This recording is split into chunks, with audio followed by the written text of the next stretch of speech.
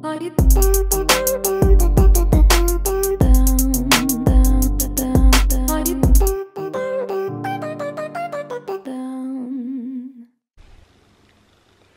a tutti, oggi voglio parlarvi di un argomento uh, a cui tengo particolarmente nell'ultimo periodo, ovvero lo svezzamento. Questo perché Leonardo tra un po' compirà sei mesi e, e quindi durante tutto questo periodo ho cercato di documentarmi quanto più potevo e di leggere tantissimo in modo tale da farmi un'idea mia che da poter affrontare nel migliore dei modi questa tappa così importante per, della vita di mio figlio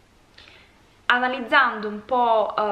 alcuni fattori uh, sicuramente ritengo che l'approccio che maggiormente si avvicina al mio stile di vita, al mio modo di vedere le cose è uh, la, lo svezzamento non tradizionale, quindi il cosiddetto autosvezzamento. I motivi che mi spingono verso questa scelta sono diversi, in primis sono contraria all'utilizzo di pappe pronte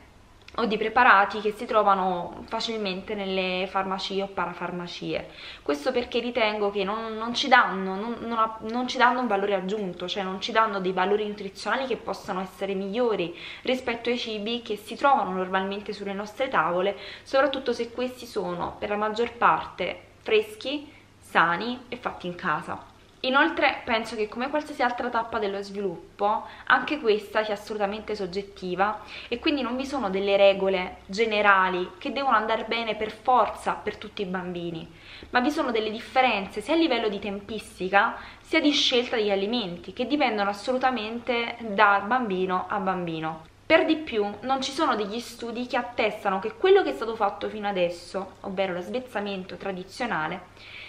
sia il miglior modo per agire e per proporre il cibo al bambino. Di sicuro chi si vuole approcciare a questo tipo di svezzamento ha bisogno di tempo e di pazienza, tantissima. Le mamme che vogliono autosvezzare i propri figli, ovvero le mamme che vogliono che i bambini si autosvezzino, devono avere tanta pazienza e di sicuro devono essere presenti. Dover delegare un'altra persona uh, in questo compito così mm, non sempre approvato da tantissimi risulterebbe difficile. Iniziamo col dire che cos'è l'autosvezzamento, o meglio chiamato alimentazione complementare.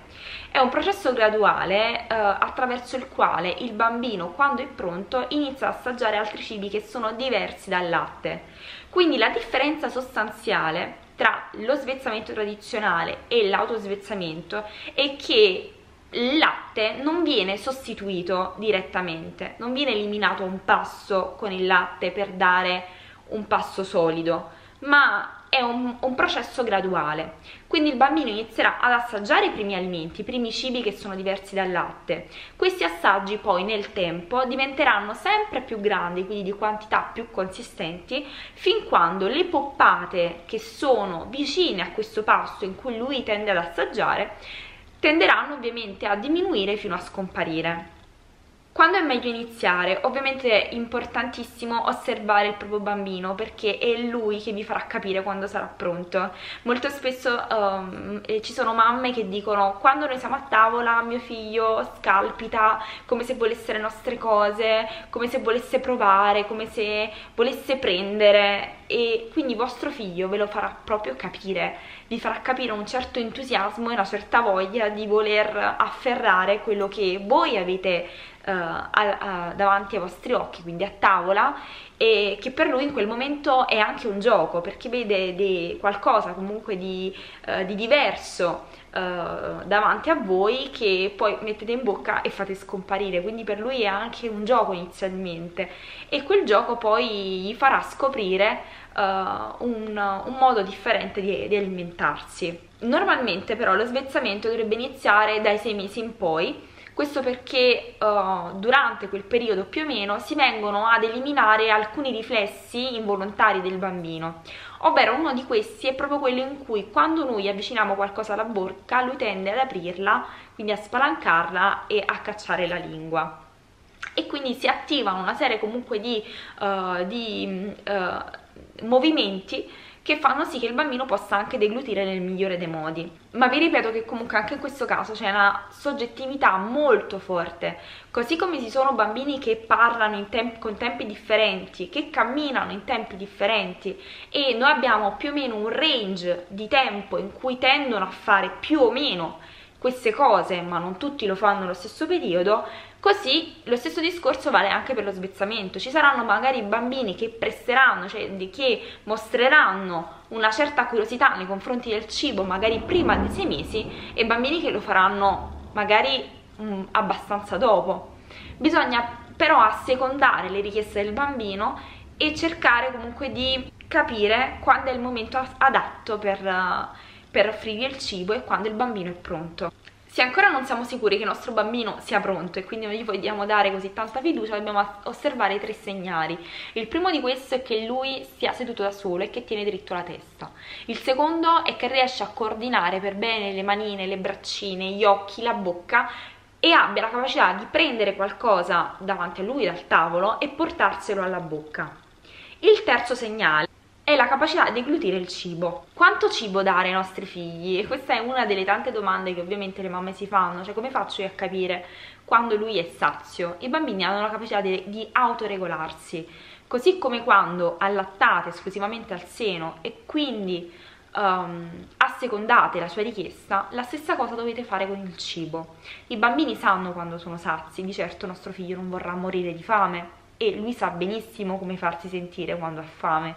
quindi non abbiate paura, ci sono bambini che mangiano di più, bambini che mangiano di meno, magari ci saranno dei giorni in cui mangerà di più e dei giorni in cui mangerà di meno, ma cercate di assecondare la sua richiesta sempre anche con il cibo non obbligate mai i vostri bambini a mangiare, non forzateli e non cercate di distrarli per farli mangiare attraverso giochi oppure utilizzando altre tecniche differenti tipo rumori strani, il telefonino, il, la canzoncina eccetera. Quando si mangia si mangia i bambini non dovrebbero essere distratti. Se vostro figlio non vuole mangiare e vuole giocare, a parte che uh, non presta nemmeno attenzione a quello che gli state dando, e lo trovo veramente molto, molto triste, eh, magari eh, nemmeno assapo assapora quello che gli state proponendo e mangiare anche per noi adulti è mangiare di gusto, non vedo perché per vostro figlio dovrebbe essere diverso.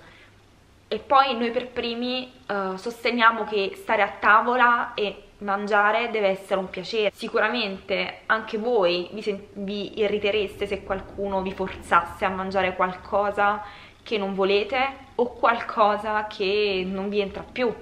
Sarebbe veramente irritante e non vedo perché voi invece lo dovete fare ai vostri figli.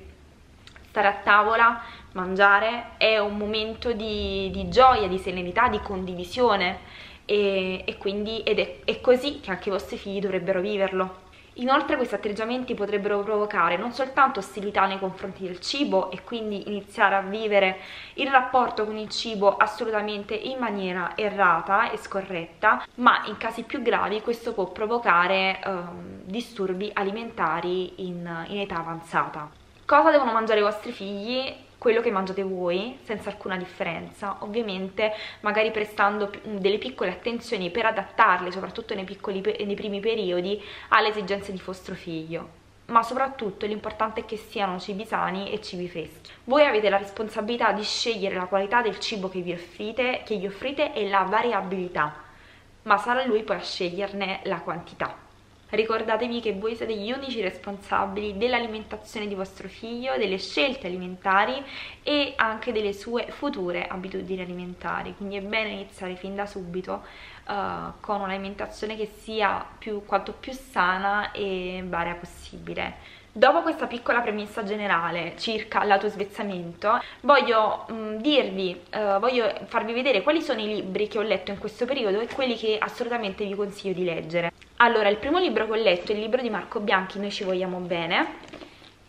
questo qui. Noi sappiamo benissimo che Marco Bianchi non è un medico, ma ha scritto questo libro in collaborazione con altri medici, quindi le informazioni che lui ci dà sono assolutamente attendibili. Attraverso questo libro lui ci parla della sua esperienza dello svezzamento di sua figlia, e delle sue scelte che sono assolutamente naturali. Ci propone anche una serie di ricette che possono essere fatte ai bambini con la variante anche per gli adulti, perché la sua idea, e anche la mia, è quella che i bimbi e i, i grandi devono mangiare assolutamente le stesse cose. Infatti alla fine della pagina, alla fine appunto del libro, troverete una serie di ricette che sono veramente ottime e che sono adatte a tutta la famiglia. Il secondo libro che ho letto è invece questo di Lucio Permiarini, il quale è un, medico, un pediatra, che vi spiega maggiormente eh, attraverso appunto la visione di un pediatra che la vede in maniera magari completamente diversa rispetto alla maggior parte dei pediatri sostenitori dello svezzamento tradizionale. Lui in maniera molto semplice ci spiega il perché e come approcciarsi all'autosvezzamento e quali sono uh, i dubbi e le paure e anche le problematiche che spesso si devono affrontare, soprattutto nel primo periodo, e le tantissime domande che le mamme, le mamme si fanno. Non ci sono ricette, perché lui non vi vuole dire come dovete fare, ma vi vuole spiegare il perché vi vuole uh, dare tante risposte alle vostre domande, quindi alle domande che solitamente le mamme si fanno e, e lo fa assolutamente nel, nel migliore dei modi e, e, poi la visione appunto di un medico, di un pediatra come vi dicevo prima e quindi ve lo straconsiglio e il libro è Io mi svezzo da solo di Pier Marini. Terzo libro che ho letto è Io mangio come voi questo libro è stato scritto praticamente da un gruppo di ricercatori dell'Università dell di ricerca di, sui servizi sanitari e la salute internazionale e tra di, tra questi ricercatori ci sono tantissimi medici, nutrizionisti, pediatri, biologi e tantissime mamme che hanno portato la loro esperienza attraverso tantissime ricette che hanno lasciato uh, in questo libro. Qui trovate anche una piccola leggenda in cui vi dice per esempio se in questo alimento, se questo è un, un pasto in cui c'è grano, se c'è la carne, se ci sono le verdure, se può essere per esempio frullato o, o se è da finger food, quindi preso con le mani. I, le varie ricette sono suddivise in merenda e colazione, primi piatti, secondi piatti mm, e anche piatti unici. L'ultimo libro che voglio consigliarvi è quello di Andrea Re, ovvero Autosvezzamento per tutti. Andrea Re è un papà che ha iniziato a um, interessarsi del, dello svezzamento e dell'alimentazione per i bambini ed è cofondatore e gestore di un sito che è autosvezzamento.it. Come appunto dice lui, l'idea di scrivere autosvezzamento per tutti è nata per aiutare i neogenitori a capire meglio cosa sia veramente l'alimentazione complementare a richiesta e perché sia davvero per tutti, anche per i genitori più timorosi e meno avventurosi in cucina. Questo libro si divide in due parti, la prima parte in cui ci parla dell'autosvezzamento e la seconda parte dove invece vi sono, vi sono tantissime ricette, anche in questo caso per tutti, quindi per tutta la famiglia. Inoltre la prefazione di questo libro è curata da Lucio Permarini, che è l'autore invece di Io mi svezzo da solo. All'interno di questo libro c'è una parte molto importante che parla del rischio di soffocamento nei bambini e quindi anche soltanto per questo motivo io vi consiglio di acquistarlo. Io per prima sono una grande sostenitrice dei, dei corsi di, uh, di disostruzione infantile, ne ho seguito infatti uno che, un mini corso che mi ha dato delle regole di base e mi ha fatto vedere appunto le manovre per, nel caso in cui ci sia soffocamento quindi invito tutte le mamme ma soprattutto le famiglie a seguire corsi del genere perché bisogna comunque trovarsi preparati per poter prevenire il, il peggio. L'ultima parte del libro vi sono anche in questo caso tantissime ricette. Tra i tanti libri che io ho letto sicuramente quello che vi consiglio di più è l'ultimo, ovvero Autosvezzamento per tutti, perché ritengo che sia quello più completo. Per quanto riguarda invece la nostra esperienza, noi sin da subito abbiamo reso partecipe al momento della tavola, eh, Leonardo al momento della tavola, eh, mettendolo sempre vicino a noi nel momento in cui si pranzava o cenava, in modo tale da farlo già eh, condividere quel momento e ehm, farlo abituare a quella situazione. Nello specifico però Leonardo ha già mostrato un certo interesse nei confronti del cibo, infatti non vi nego che qualcosa l'ha provato. Ha provato i broccoli, il porridge di zucca, uh, la banana e ieri sera la vellutata di cavo. Voi comunque sapete benissimo che io ho sempre fatto uno stile di vita molto sano e mangio sempre in maniera molto equilibrata, però nell'ultimo periodo, proprio in vista dello svezzamento di Leonardo, ho rivalutato un po' la mia alimentazione le mie scelte alimentari soprattutto, perché mi sono resa conto che effettivamente sulla mia tavola spesso ci sono i soliti quattro alimenti che si presentano con alternanza quasi regolare uh, un po' per pigrizia, un po' per abitudine fondamentalmente, tendo a variare molto poco. E questo non va bene per Leonardo che in questo momento si sta approcciando a, alla, al, cibo, al cibo, al cibo solido e che quindi deve, deve avere a disposizione una variabilità molto più ampia e pertanto ho deciso di variare il più possibile la mia alimentazione e di scegliere in maniera molto più accurata eh, la qualità del cibo che, che presenterò sulla mia tavola proprio per um, avvicinarmi quanto più possibile alle esigenze uh, di Leonardo in questo periodo molto particolare che è lo svezzamento. Scelta particolare, come vi dicevo, alla qualità degli alimenti e agli, ad, alimenti che ovviamente de devono essere sani, come vi ho già detto, e soprattutto sicuri per, per mio figlio. Diciamo che adesso ogni volta che vado a fare la spesa e magari voglio comprare qualcosa di diverso, eh, la prima domanda che mi faccio sempre mh, mm, è questo prodotto lo, lo, darò, lo farò mai mangiare a mio figlio? Se la risposta è no, allora vuol dire che non devo mangiarla, mangiarlo nemmeno io, proprio perché io voglio essere per lui un, un, esempio da seguire, ma soprattutto voglio che Leonardo viva lo svezzamento e l'alimentazione in generale in maniera molto serena.